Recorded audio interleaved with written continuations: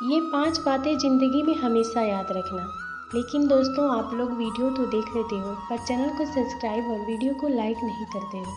तो चलिए उससे पहले आप वीडियो शुरू करने से पहले चैनल को सब्सक्राइब, वीडियो को लाइक करें। चलिए वीडियो शुरू करते हैं। नंबर एक, प्यार हो या पैसा, किसी के आगे भीख मत मांगना। नंबर दो, अपने माँ बाप के अलावा इस दुनिया में किसी के ऊपर भरोसा मत करना। नंबर तीन इंतज़ार करना बंद करो, क्योंकि जितना तुम सोचते हो, ज़िंदगी उससे कहीं ज़्यादा निकल चुकी है। नंबर चार, दुनिया के तानों से कभी नाराज़ मत होना, क्योंकि हीरे को भी लोग काश समझ लेते हैं। नंबर पाँच, और रुपए का कभी घमंड मत करना, क्योंकि गरीबी और बीमारी कभी पूछ कर नहीं आती। क्या आप हमारी बात से सहमत हैं?